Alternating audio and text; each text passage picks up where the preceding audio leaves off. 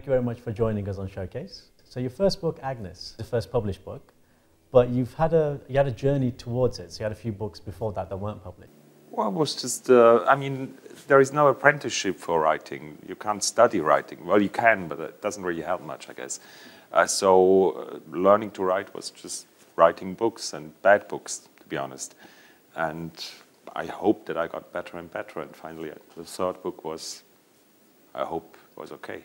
When you say you're writing bad books, what's a bad book to yourself? Well, there are many kinds of bad books, but, but the bad books that I wrote were books that tried to give answers to people. I, I, at a young age, you think that you know everything, but you understand nothing. I had a, a message for the world, and that's not how you write books. So in my later books, I, I have questions, but I don't have answers, and I think that makes much better books. Agnes fiel mir gleich auf, als sie sich im Lesesaal vor mich setzte. Ihr Gesicht war schmal und bleich. Unsere Blicke trafen sich für einen Moment. With Agnes was turned into a film. What was that like as a journey for you? Was there a lot of things you had to change? Was there a lot of control you had on that? I didn't really. I, I well, I did write a, a script for an Agnes film like 20 years ago, but that film was never made. And, and 15 years later, another guy came and said, wanted to make a film. So I said, well, do it, but I won't work with, I mean, I don't want to write the, the script, and he didn't want me to write the script. So I let them just do their work, and, and sometimes he, we talked, and he asked some questions. He showed me some, some uh, actors that would play in the film, but I wasn't really part of the making. Was there a reason behind that? There have been so many film projects after my books, and that's there are very few that actually finally uh, led to a film. So I just said I don't have time to deal with projects that in the end uh, never come to an end.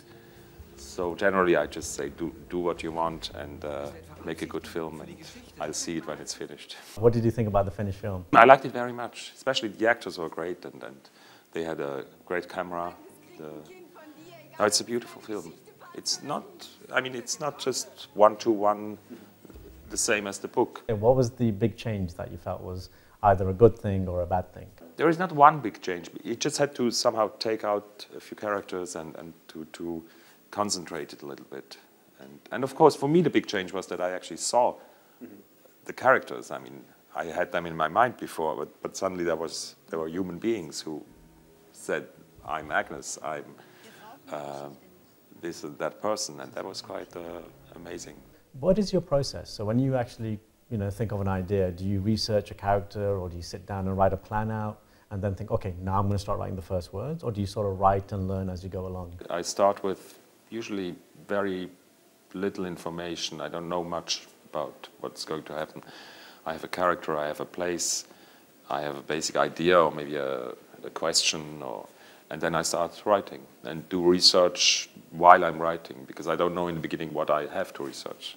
So I, I, just start writing, and then I realize I have to know this and that, and then I do some research on that and go on. And is there ever any kind of scene or a character that's been very difficult to write? The difficult part, say, if, if I have a character that's very difficult, usually the book doesn't come out. I, I usually abandon the project because if, if I can't identify with the character, it makes no sense. So I just throw it away. How many novels have you got like that where they're not complete or maybe half complete? Since Agnes, I two, three, maybe. Long projects, I mean, really a few hundred pages. Would you ever go back to them? No, it's, it's not worth it. It's, it's, it's like when you cook a soup and you put too much salt in it. You cannot, you cannot remove the salt. It's, it's just start anew. There is no, doesn't make sense to try to save the soup. Bad soup is a bad soup. no, I learned that from, from, I have many painter friends and, and I've seen painters, they really throw away a lot. So they, they just start something and they see it doesn't work and then they just throw it away. I think a writer should, or any artist should have a certain generosity. So don't cling to every sentence you've ever written. Just throw away stuff and start anew. When books are translated, is anything ever lost or added or gained? I mean, in a way, it's impossible to translate a book. But then we have to do it because it's, uh, if, if there were no translations, I couldn't have read half of the book I've read, I couldn't have read. So I'm extremely happy and, and grateful that there are people who do that work, which is a hard work and, and not well paid. And I think it, everything can happen. there are some people say there are translations that are better than the original in some cases. Or you can lose something, of course. There are bad translations sometimes. And uh, it seems that I'm very lucky with my translators. It seems they, they really did a great job. The process of finding a translator, do you sort of screen them? The only thing I can do is help them if they need help. I mean, I always offer, write to me if you have questions. I make like little fact sheets for each book with like where I have citations and, and stuff like that, where I explain certain things about the book. So just to make them life easier for them.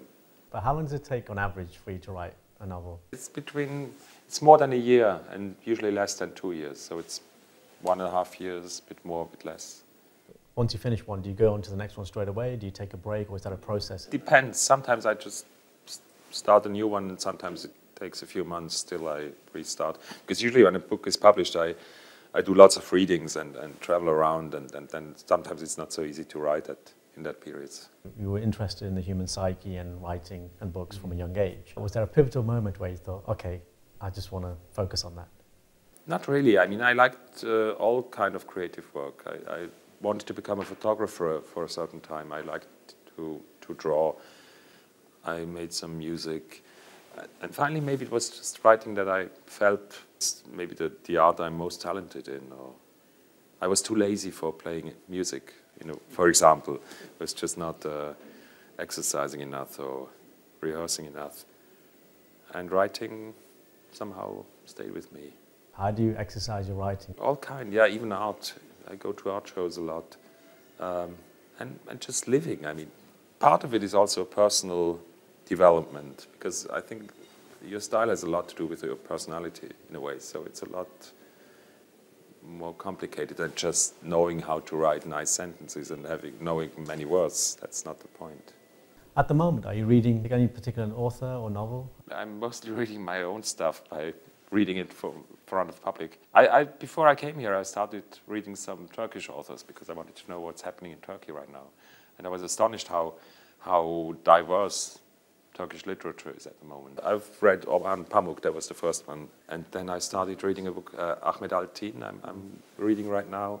There is a book of uh, the young woman wrote, The Girl in the Tree, İşigüzel, I think. So it's completely different, different uh, works, but all of them interesting, fascinating.